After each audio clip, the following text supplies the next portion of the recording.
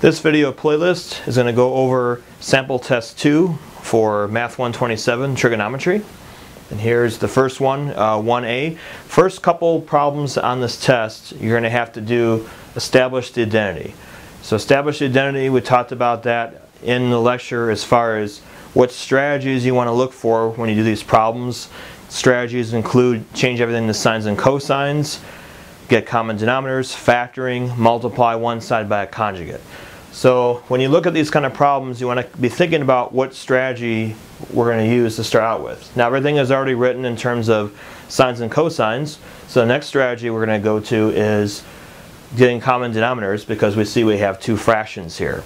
So that's what we're going to start with. We want to get common denominators with these here. And the, the common denominator will be sine x times 1 plus cosine.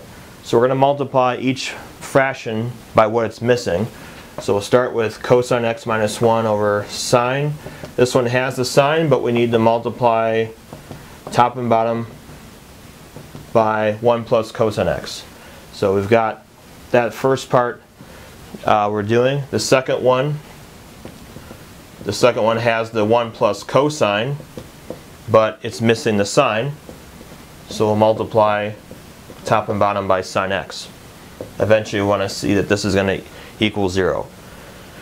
Next thing we want to do is put this together uh, for a single denominator. Now that we, we've multiplied, uh, put, set, set up the multiplication, we're going to have sine x and then 1 plus cosine x on the bottom.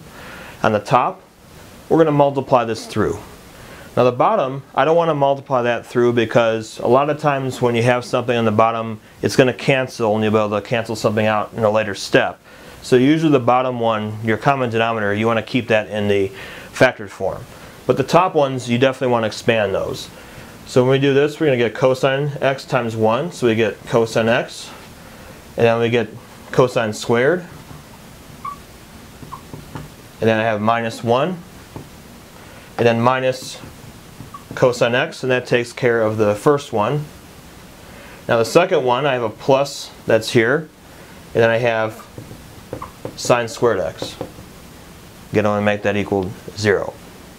I want to look for things I can combine together, like terms. So once I have this complete, it's all over one fraction. Cosine and negative cosine, those are going to cancel.